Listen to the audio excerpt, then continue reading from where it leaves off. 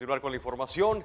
Enseguida le tengo la participación del Procurador de Justicia, Carlos Navarro, que nos explica el resultado de las indagatorias en torno al asesinato del joven Heriberto Gagiola Rui el pasado domingo en las cercanías de la playa San Carlos. El crimen que presuntamente cometieron tres jóvenes residentes de Guaymas de nombre Francisco Javier Aguado, Omar Enrique Rubio y Juan José Cuen para robarle a la víctima su celular, su billetera y el calzado antes de abandonarlo en el lugar donde fue localizado su cuerpo por un helicóptero de la Policía Federal Preventiva. Sobre este hecho se había comentado mucho, mucho se ha comentado acerca de este joven originario de Cajeme que tenía residencia allá en Hermosillo, que fue asesinado en las playas de San Carlos.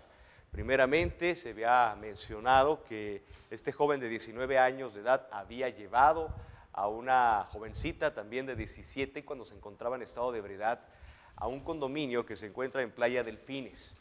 Eh, se había mencionado también que el padre de la jovencita había estado o presumiblemente había algún tipo de implicación en este homicidio. Pero bueno, vamos a escuchar ahora los resultados en base a la indagatoria, la información oficial que da el Procurador de Justicia en el Estado. Puedo informar que tenemos detenidos a dos personas implicadas en el homicidio de Heriberto. El primero es Francisco Javier Aguado Vázquez, de 18 años de edad, quien es originario de Guaymas, Sonora, quien cuenta con domicilio en la colonia San Marino y el cual es desempleado. También tenemos detenido a Omar Enrique Rubio Beltrán, de 18 años, originario de Guaymas, Sonora, quien tiene su domicilio en la colonia Popular y es estudiante de preparatoria. Asimismo, se solicitará orden de aprehensión en contra de una tercera persona, la cual está plenamente identificada y es señalada por los implicados como autor material del homicidio de Heriberto.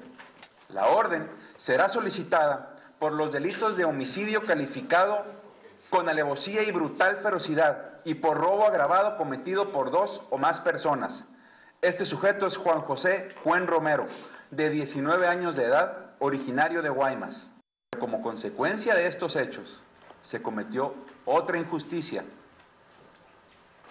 y es contra la familia del señor Noé Ibarra, de Ciudad Obregón, y contra su hija, que algunas personas por redes sociales crucificaron sin misericordia.